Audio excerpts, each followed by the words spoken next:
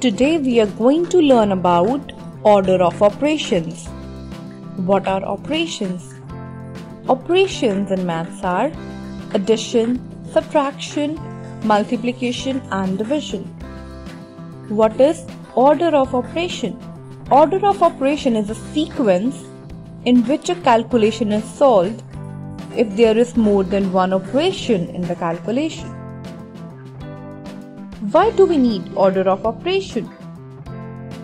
To avoid getting different answers of a calculation, order of operation is required.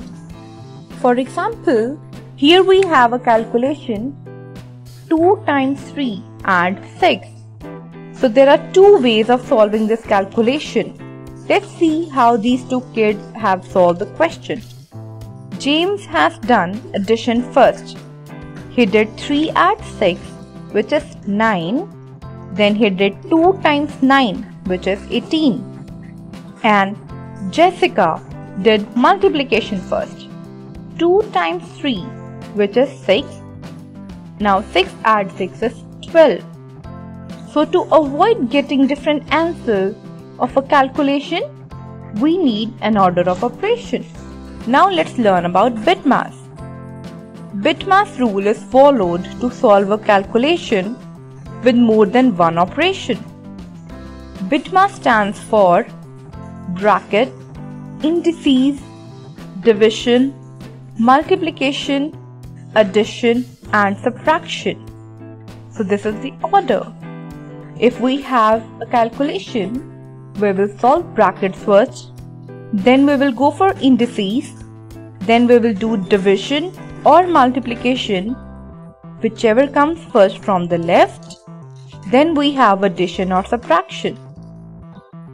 Let's solve a question. Now 2 times 3 adds 6.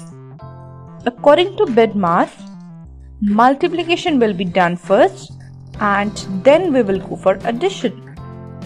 So 2 times 3 is 6. 6 add 6 is 12. Here is another example. 4 squared take away 10 add 6 divides by 3. According to BIDMAS, indices will be solved first. Then we will do division, then subtraction and add the last addition. So let's start with the indices. 4 squared is 16. Then division 6 divides by 3 is 2.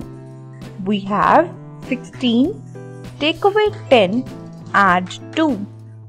Now we have addition and subtraction. We will do the operation which will come first from the left hand side.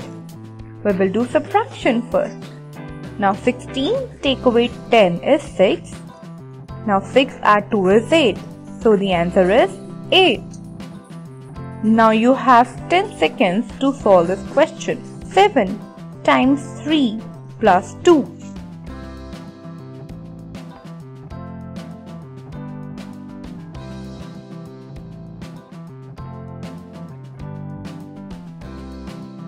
According to BIDMAS, we will do multiplication first and then addition. So 7 times 3 is 21.